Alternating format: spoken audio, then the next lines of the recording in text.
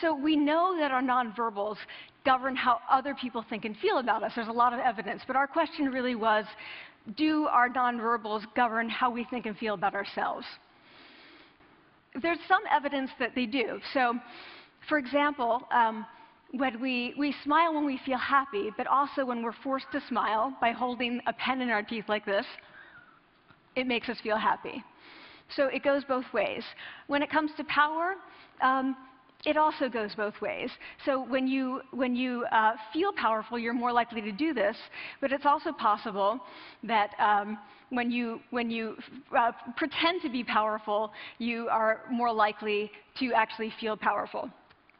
So the second question really was, you know, so we know that our minds change our bodies, but is it also true that, that our bodies change our minds?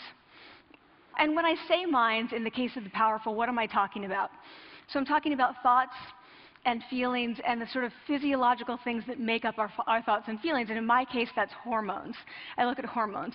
So what do the minds of the powerful versus the powerless look like? So powerful people tend to be, not surprisingly, more assertive and more confident, uh, more, more optimistic. They actually feel that they're going to win even at games of chance. Uh, they also tend to be able to think more abstractly. So there are a lot of differences. They take more risks. There are a lot of differences between powerful and powerless people. Physiologically, there also are differences on two key hormones testosterone, which is the dominance hormone, and cortisol, which is the stress hormone. So what we find is that um, uh, high power alpha males in primate hierarchies have high testosterone and low cortisol. And powerful and effective leaders also have high testosterone and low cortisol. So what does that mean?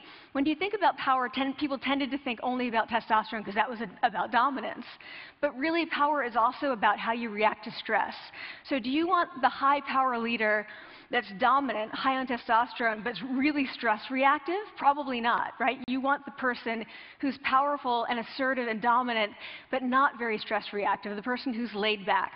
So we know that in, uh, in, in, primate hierarchies, if an alpha needs to take over, uh, if, if an individual needs to take over an alpha role sort of suddenly, within a few days, that individual's testosterone has gone up significantly and his cortisol has dropped significantly. So we have this evidence both that the body can shape the mind, at least at the facial level, um, and also that role changes can shape the mind.